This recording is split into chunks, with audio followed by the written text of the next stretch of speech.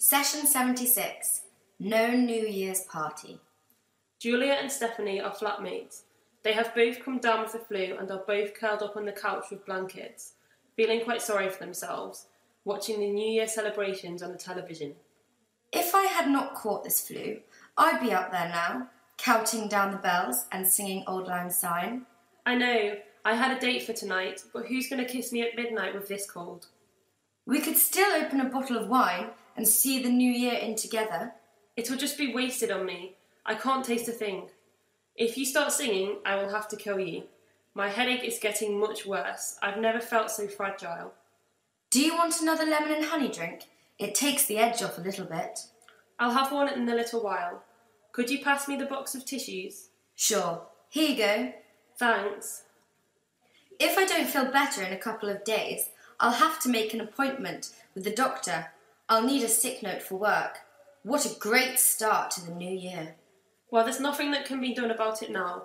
With hindsight, we should have taken precautions. Like what? Wearing masks and keeping people at a distance with a long stick? Don't be silly. I mean, topping up on vitamin C, getting a better night's sleep. Maybe I wouldn't feel so terrible. There's no way to know that. Of course, prevention is better than cure. But at this time of year, so many people get sick. It's unavoidable. I feel like I'm dying. Can I have your stuff? Love you too. I'll take that drink now. Sure. Julia goes off to make a couple of hot drinks, while Stephanie continues to watch the television. Julia returns a few minutes later.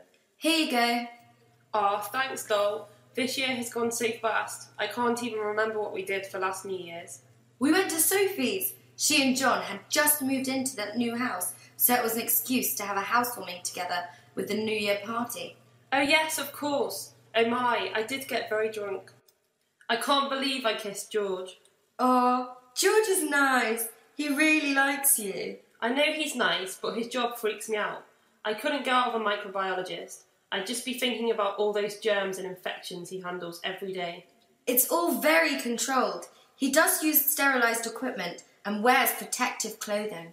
I know, I know, but I can't stop thinking about it, and it gives me the shivers. It's not fair on him, but I can't help it. I don't think it would bother me so much, but I do know what you mean.